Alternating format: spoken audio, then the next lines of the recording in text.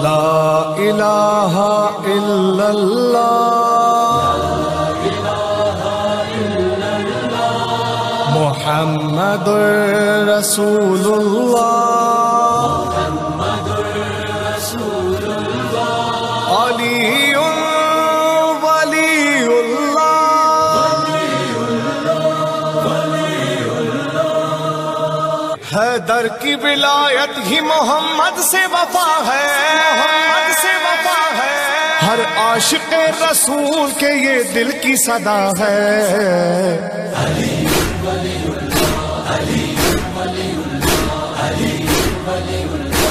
अली वलीउल्लाह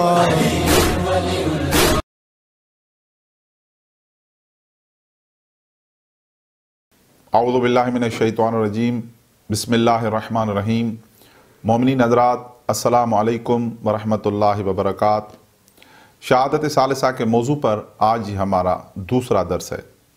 जिन मोमिन ने पहला दर्स नहीं सुना, उनसे ये गुजारिश है कि पहला दर्स ज़रूर सुने, ताकि बात आपको समझ में आ जाए। पिछले दर्स में हमने ये गुजारिश की थी, इस मसले को समझने के लिए पहले दो बातें समझना बेहद ज़रूरी हैं। पहली बात ये तहकी की की जाए कि शहादत सालसा दो गवाहियों का हिस्सा है या नहीं। और दूसरी बात, इस मसले को अहादी से अहल बैत में तलाश किया जाए, किसी मौलवी के फतवे से इस मसले को न समझा जाए।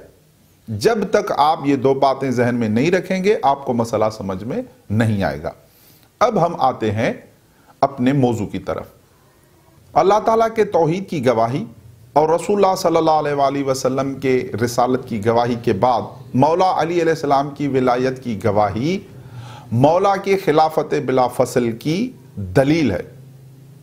उसके लिए चाहे बिला फ़सल के अल्फाज कहें या न कहें, जैसे ही आपने अल्लाह ताला की गवाही और रसूलुल्लाह सल्लल्लाहु अलैहि वसल्लम के रिसालत की गवाही दी और उसके बाद जैसे ही आपने अली वलीला कहा, इसका मतलब है कि आपने मौला अली की खिलाफत बिला फ़सल का इकरार किया। दो गवाहियाँ देकर खामोश रहने से यह पता नहीं चलता कि आप गदीर वाले हैं या सकीफा वाले। जब आपने अलैहि वसल्लम के रिसालत के बाद मौला अली सलाम की विलायत की गवाही दी तो इसका मतलब है आपने सकीफा का इनकार किया और गदीर का इकरार किया। मुखालफीन भी इस बात को जानते थे कि अली की गवाही रसूल्ला अलैहि के रिसालत की गवाही के बाद, मौला अली की विलायत की गवाही, मौला के खिलाफत बिला फ़सल पर यह दलील है कि मौला अली रसूलुल्लाह सल्लल्लाहु अलैहि वसल्लम के बिला फ़सल जानशीन है। इसीलिए उन्होंने हदीस मेराज को ही तब्दील कर दिया और मोहम्मद रसूलुल्लाह सल्लल्लाहु अलैहि वसल्लम के बाद उस शख्स का नाम वहाँ लिखा। जिसको वो रसूल का खलीफा मानते थे। यह मसला लेकर मौला का सहाबी कासिम बिन मुआविया, छठे इमाम जाफ़र सादिक सलाम की खिदमत में हाजिर हुआ और अर्ज़ किया कि मौला मुखालफिन कहते हैं कि जब रसूल सल्लल्लाहु अलैहि वसल्लम महराज पर गए तो अर्श पर यह लिखा था, ला इल्लल्लाह मुहम्मद रसूलुल्लाह, और आगे उस शख्स का नाम लिखा था, जो उन्होंने बताया। इमाम सलाम ने इरशाद फरमाया सुबहान अल्लाह गैरू कुल्ल शैन हत्ता हाजा। सुबहान अल्लाह हर शे को तो उन्होंने बदल दिया, इसको भी बदल दिया। कुल तो नम, रावी कहता, मैंने कहा, जी हाँ सरकार। फिर इमाम सलाम ने शहादत सालसा के दो गवाहियों के हिस्सा होने पर दलाल दिए। इमाम सलाम ने इरशाद फरमाया इन अल्लाह लम्मा खलकल अर्श कतब अलई है ला मोहम्मद इल्लल्लाह मुहम्मद रसूलुल्लाह अली अमीर मोमिनीन। जब अल्लाह ताला ने अर्श को खल किया तो उस पर ये तीन गवाहियाँ लिखी, अल्लाह के तोहीद की गवाही, रसूल के रसालत की गवाही और मौला अली के विलायत की गवाही। वल्लम्मा खलक मा कतबफ़ी मजराह, ला इलाहा रसूल मुहम्मद अली अमीरमिन जब अल्लाह ताला ने पानी को खल किया तो उसके जारी होने की जगह पर ये तीन गवाहियाँ लिखी, ला इल्लल्लाह मुहम्मद रसूलुल्लाह अली कुर्सी कतब अला कवाइमिही। जब अल्लाह ताला ने कुर्सी को खल किया, कुर्सी कौन सी कुर्सी? जो आयतल कुर्सी पढ़ते हैं वसी कुर्सी समावात वल अर्ज़, वो अल्लाह ताला की कुर्सी। उस पर अल्लाह ताला ने ये कलमा लिखा, ला इलाहा मोहम्मद रसूलुल्लाह अली अमीर मोमिनीन, वल्लम्मा खलक़ल्लाहुल अज़्ज़ व जल्ल लौह जब अल्लाह ताला ने लोहे महफूज को खल किया, लोहे महफूज पर ये तीन गवाहियाँ लिखी, ला इल्लल्लाह मुहम्मद रसूलुल्लाह अली अमीर मोमिनीन, वल्लम्मा खलक़ल्लाहुल इसराफील, कतब अला जबहत ही जब अल्लाह ताला ने इसराफील फरिश्ते को खल किया तो उसकी पेशानी पर ये लिखा, ला इल्लल्लाह मुहम्मद रसूलुल्लाह अली अमीर मोमिनीन, वल्लम्मा खलक़ल्लाहु जिब्राईल, कतब अला जनाही जब अल्लाह ताला ने जिब्राइल को खल किया तो उसके परों पर यह कलमा लिखा, ला इलाहा मुहम्मद रसूलुल्लाह अली अकनाफिहा।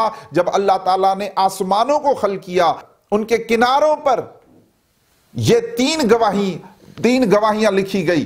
कौन सी गवाहियाँ लिखी गई? ला इला मोहम्मद रसूला अली मोमिन वल्लम्मा खलक़ल्लाहुल अज़्ज़ व अर्ज़ीन कतब फ़ी अतबाक़हा। जब अल्लाह ताला ने ज़मीनों को खल किया तो उनके तमाम तबकात पर, उनके तमाम तबकात पर यह इबारत लिखी, तीन गवाहियाँ लिखी, ला इल्लल्लाह मुहम्मद रसूलुल्लाह अली अमीर मोमिनीन, वल्लम्मा खलक़ल्लाहुल अज़्ज़ व जल्लल जिबाल कतब फ़ी रूसहा जब अल्लाह ताला ने पहाड़ों को खल किया तो उनके चोटियों पर ये तीन गवाहियाँ लिखी, ला इल्लल्लाह मुहम्मद रसूलुल्लाह अली अमीर मोमिनीन, वल्लम्मा व जल्ल शम्स कतब अलैहा, ला इलाहा इल्लल्लाह अली अमीर मोमिनीन। जब अल्लाह ताला ने सूरज को खल किया तो उस पर ये तीन गवाहियाँ लिखी। कौन सी? अल्लाह की तौहीद की गवाही, रसूल के रिसालत की गवाही, मौला अली के विलायत की गवाही। तीनों साथ साथ लिखी। आगे इमाम सलाम ने फरमाया, वल्लम्मा खलक़ल्लाहुल अज़्ज़ कमर कतब अलैह। जब अल्लाह ताला ने चाँद को खल किया। उस चाँद पर क्या इबारत लिखी? ला मोहम्मद रसूलुल्लाह। अली अमीर मोमिनीन। आगे इमाम सलाम ने इरशाद फरमाया, वह सवादुल्लजी तरनहु फिल कमर।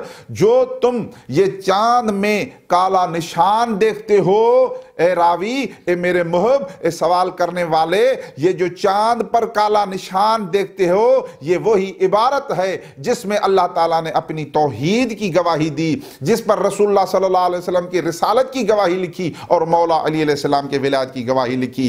इमाम सलाम ने यह हमें बताया कि अर्श, पानी, कुर्सी, लौह, इसराफिल, जिब्राइल, आसमान, ज़मीन, पहाड़, सूरज, चाँद, अल्लाह ताला ने अपनी कायनात को तीन गवाहियों से सजा दिया। हर चीज़ अल्लाह ने बनाई, उस पर यह तीनों गवाहियाँ लिखी। इमाम सलाम ने यह हदीस बयान करके समझाया कि कोई एक ऐसी जगह दिखाओ जहाँ अल्लाह ने दो गवाहियाँ लिखी हो। हर जगह देख रहे हो तीन गवाहियाँ हैं। जब हर जगह तीन गवाहियाँ हैं तो फिर यह समझो कि विलायत अली की गवाही ये दो गवाहियों का हिस्सा है। हर जगह तीन गवाहियाँ जब हर जगह अल्लाह ने तीन गवाहियाँ लिखी हैं तो इसका मतलब यह है कि तुम दो गवाहियाँ देकर खामोश न हो जाना। यह बात समझाकर इमाम सलाम ने एक कानून बता दिया, एक फार्मूला बताया, एक मुतलक हुक्म इरशाद फरमाया। इमाम सलाम ने इरशाद फरमाया फ़ैज़ा काल अहदुकुम ला मुहम्मद रसूलुल्लाह फलयकुल अली अमीर मोमिनीन। जब भी, जहाँ भी तुम दो गवाहियाँ दो, जब भी, जहाँ भी, चाहे अजान हो, इकामत हो, नमाज़ का तशहद हो, या नमाज़ जनाजा हो, जहाँ भी दो गवाहियाँ दो फल यकुल अली अमीर मोमिनीन, वहाँ मौला अली की विलायत की गवाही ज़रूर देना। इससे बढ़कर इमाम और तुम्हें क्या समझाए? इससे बढ़कर और क्या दलील हो सकती है? कि शहादत सालसा दो गवाहियों का हिस्सा है। अब यह हदीस दस से ज़्यादा हवाले मेरे पास मौजूद हैं किताबों के, जिनमें यह हदीस लिखी हुई है, लेकिन मैं फकत दस हवाले यहाँ पेश करता हूँ। पहली किताब अल एहतजाज तबरसी, जिल्द नंबर एक, सफ़ा नंबर 210 दूसरी किताब, मदीनतुल माजिज जिल्द नंबर दो सफ़ा नंबर बयालीस।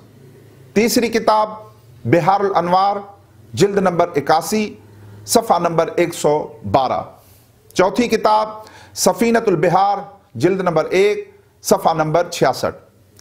पांचवी किताब अल नाजरा, जिल्द नंबर सात, सफ़ा नंबर 404 छठी किताब, मिनहाजुल बराआ, जिल्द नंबर एक, सफ़ा नंबर 412 सातवीं किताब जवाहर कलाम, जिल्द नंबर नौ, सफ़ा नंबर एक सौ बयालीस। आठवीं किताब, मुस्तम सकुल उर्वत वस्का, जिल्द नंबर पाँच, सफ़ा नंबर चार सौ पैंतालीस। और नवी किताब, मौजूदा मुजतहदीन में से नजफ अशरफ के मुजतहद हैं, शेख मोहम्मद सनद। उन्होंने पूरी किताब लिखी है शहादत सालसा के ताइद में, और उसका, किताब का नाम ही रखा है शहादत सालसा। और उसके सफ़ा नंबर 303 पर यह रिवायत मौजूद है। और दसवीं किताब खुमैनी साहब ने भी इस रिवायत को लिखा है अपनी किताब में। और किताब का नाम है आदाब सलाद, सफ़ा नंबर 205 पर यह रिवायत लिखी है। दस किताबों के हवाले मैंने आपके सामने पेश कर दिए अब आखिर में अपने मौकफ के ताइद में एक खुमैनी साहब का बयान आपके सामने मैं पढ़ता हूँ। ताकि आपको पता चल जाए कि शहादत सालसा दो गवाहियों का हिस्सा है। हमें खोमेनी साहब के इस फतवा की ज़रूरत नहीं है। हमारे लिए कलाम मासूम काफ़ी है, लेकिन जो शख्स खोमेनी साहब को अपना इमाम समझते हैं, उनके लिए यह दलील है कि देखो, फकत मैं नहीं कह रहा, आपका उसूली मसलक वालों का जो इमाम है, उन्होंने भी इस बात का इकरार किया है अल्फाज क्या है, मैं आपके सामने पढ़ देता हूँ। खुमैनी साहब लिखते हैं अपनी किताब आदाब नमाज़ में कि उलूहियत की शहादत में, यानी तोहहीद की शहादत में मजमू तौर पर शहादतैन, शहादत रिसालत और शहादत विलायत शामिल हैं।